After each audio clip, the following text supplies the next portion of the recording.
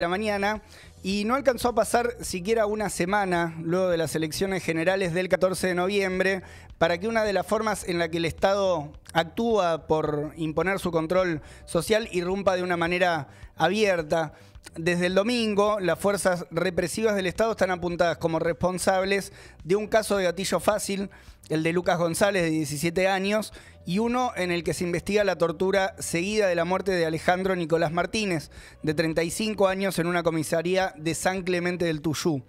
En tierras patagónicas, Elías Garay, de 29 años, fue asesinado por dos sicarios.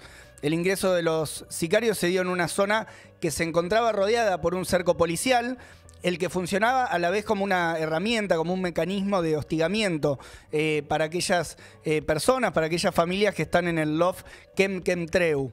Gonzalo Cabrera fue atacado junto a Elías y se encuentra internado con dos balazos en el abdomen. Anteriormente, el 10 de noviembre, Lautaro Rosé fue encontrado ahogado luego de una racia policial que llevó adelante la policía de Corrientes y el abogado de la familia contó en este programa también que esas racias eh, están destinadas eh, y, se, realizan de manera ilegal, clandestina, para desalojar eh, de sectores de la costanera.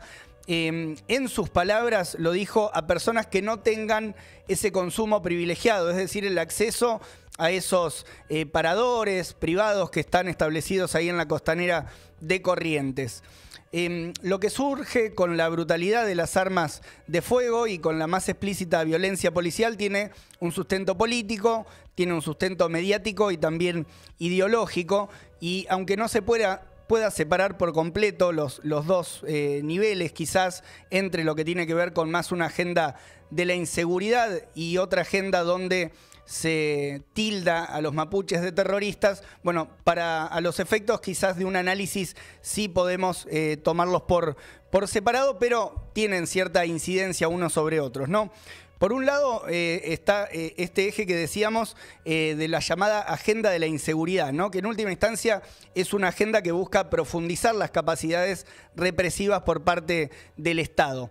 Y antes de todos estos hechos, el 7 de noviembre hubo un salto en esta, en esta agenda, em, producto del asalto que se había realizado al kiosquero Roberto Sabo. Esto fue en provincia de Buenos Aires, en la zona de Ramos. El hecho fue utilizado por algunos sectores para reforzar justamente el mensaje de mano dura. Ahí apareció la derecha, en este caso de Luis Espert, tomando quizás una, una avanzada, una delantera, exigiendo lo que podríamos denominar una línea ejemplificadora, ¿no? Lo que dijo Expert en ese momento fue transformemos en un queso gruyère a un par de estos delincuentes, como los de ayer, apoyemos a la policía que haga eso y esto va a empezar a mejorar un poco. Fueron las palabras de José Luis Expert. Eh, en estos casos incluso los medios funcionan dándole mucho aire eh, generando, ayudando a generar este clima, visibilizando esas voces. No es que nadie salió incluso Em, a contradecirlo, a Spert en sus palabras, al menos muchos medios que lo levantaron de manera objetiva, ¿no? Como diciendo, bueno, el candidato Luis Spert dijo esto, pero le dieron mucho aire a, a sus palabras. Y también hubo otros referentes de otras fuerzas políticas que salieron a pronunciarse en este momento, en esa agenda de la inseguridad, y uno de ellos fue Sergio Berni, que estuvo, entre otros programas, en TN y decía esto. Para formar porque parece un número de 2.000 policías a 20.000, bueno, van a formar 18.000 más. Bueno, serán 18.000 sueldos más. No, tenemos que hacer toda una infraestructura donde está todo el gobierno de la provincia de Buenos Aires, obras obra públicas, el jefe de gabinete, eh, están todos trabajando para hacer la reforma, para tener la infraestructura para alojar durante un año 20.000 cadetes que tienen que ser eh, policías en diciembre del año que viene. Y ya hoy estuvimos trabajando con todo el gabinete para tener los medios necesarios para que pase lo mismo en el 2023. Cuestión de que en dos años nosotros por primera vez en la provincia vamos a duplicar casi, casi la gente de calle, la gente que lleva pistola. Ah. Bueno, ahí está eh, la agenda de Bernie, ¿no? Duplicar eh, los agentes de calle, la gente que lleva pistola, decía el ministro de Seguridad de la provincia de Buenos Aires. En un capítulo previo, eh, el debate de los candidatos de la provincia de Buenos Aires también estuvo atravesado por esta, por esta discusión. En esa oportunidad, Nicolás del Caño aportó una voz disidente, la única voz disidente en ese debate, donde apuntó justamente que había que encarar el tema de la llamada inseguridad eh, ligado al problema que plantean los jueces, las cúpulas policiales y en este caso particular la bonaerense y el poder político. ¿no? Ese fue el planteo de Nicolás del Caño. El resto de los candidatos, todos habían optado por distintos tonos de esta agenda del orden y... Eh, había diferentes planteos, pero que podemos sintetizar en duplicar las penas, bajar la edad de imputabilidad, bancar la fuerza o bancar a las fuerzas contra los delincuentes, plata para equiparar los salarios de las policías, comisarías, cárceles, bueno, una serie de cuestiones que apuntan justamente a reforzar esta agenda del orden. Esto es un conjunto de hechos que tiene que ver más con la agenda securitaria o de seguridad eh, y el otro hecho que mencionábamos es el que tiene que ver con la campaña anti-mapuche, ¿no? de lo que vemos eh, y que tiene implicancias y que tiene una consecuencia en cómo se actúa también después por parte de las fuerzas de seguridad o, fuerzas paraestatales, como eh, parece que eh, sucedió en el caso de Elías Garay, de, Elías, de Elías, perdón, ahí en, Sí, Elías Garay, de 29 años, en Río Negro. Bueno, en esta campaña de criminalización y estigmatización de quienes pelean por recuperar o resistir territorios que son codiciados además por poderes económicos, ¿no? Esto está muy claro, que hay intereses económicos en la región, cuentan con el aval y la promoción del poder político, y en este caso con el aval también eh, y la campaña que encabezó la gobernadora, ¿no? Arabela Carreras. En este caso, los medios también pusieron sus propias herramientas en función de generar un clima represivo y si bien hay distintos ejemplos, también hay distintos grados eh, en los cuales se expresó esta campaña. Uno de los más eh, notorios, uno de los que más repercusión tuvo, quizá fue eh, esa editorial que hizo Jorge Lanata contra los mapuches, que decía lo siguiente en un informe que presentaba. Otra vez este paraíso argentino está en la mira de todos. Otra vez grupos que no reconocen al Estado argentino siembran miedo y violencia. Los gobiernos provinciales reclaman apoyo y la Casa Rosada se despega mientras le hace guiños a los mapuches más radicalizados.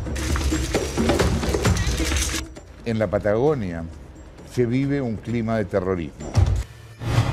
Bueno, clima de terrorismo es la definición con la cual eh, cerraba esta introducción de su, de su informe Jorge Lanata y la pregunta es si se puede separar estos hechos de violencia institucional, de violencia policial o incluso paraestatal, como eh, es el caso de estos sicarios que, ingresaron en las tierras eh, que estaban resistiendo y ocupando em, recuperadas, ¿no? También por la comunidad mapuche, si se lo puede separar de esta agenda, ¿no? Eh, que está impuesta desde estos sectores, desde el poder político y que cuenta también con el aval y con el acompañamiento de toda la prensa y estos eh, sectores de los medios nacionales que eh, apuntalan y empujan mucho esta, esta campaña de, odio también contra sectores de la comunidad mapuche.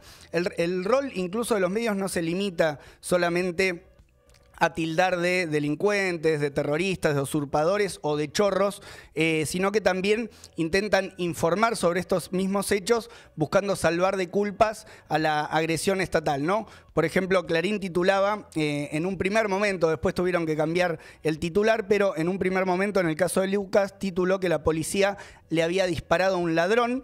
Eh, y un poco en esta lógica de hierro, ¿no? De si pasa, pasa. O sea, si la familia de Lucas incluso eh, no hubiera salido rápidamente a movilizarse o si no hubiera tenido el impacto que tuvo el caso, probablemente hubiera pasado como en otras ocasiones donde queda eh, también esa primer versión, ¿no? que dan las fuerzas de seguridad y que los medios eh, hegemónicos, los principales medios también levantan acríticamente. el gatillo fácil, la violencia institucional son mecanismos muy aceitados del sistema que incluye manuales no escritos con los cuales los jueces, las fuerzas policiales, los fiscales y los responsables políticos también salen a moverse rápidamente, ¿no? Para intentar cubrir su accionar. Y la magnitud de la violencia organizada hace justamente necesario redoblar los esfuerzos para organizar de manera independiente junto a las familias, a, los, a las familias de los casos de gatillo fácil, a todas las organizaciones políticas, sociales que acompañan una pelea contra esta impunidad. La mamá de Facundo Castro, eh, atravesada por un caso que tiene muchos puntos de contacto con el caso de Lucas González, eh, dijo lo siguiente y se preguntaba, ¿cuál es la diferencia? Ninguna. Otro pibe más asesinado por la policía. ¿Cuántos más necesitan para parar la cacería? Ser joven no es delito, tu visera, tu cara, tu color de piel no son delitos. Basta de matar a nuestros pibes y si todavía no te duelen tantos, vos podés ser el próximo, decía Cristina. Mi abrazo de lucha a estos papás que también les cagaron la vida. Memoria, verdad y justicia, que un pueblo sin memoria repite las mismas historias. Justicia por Facu, justicia por Lucas y agregamos también justicia por Elías, por Lautaro y por todas las víctimas del gatillo fácil.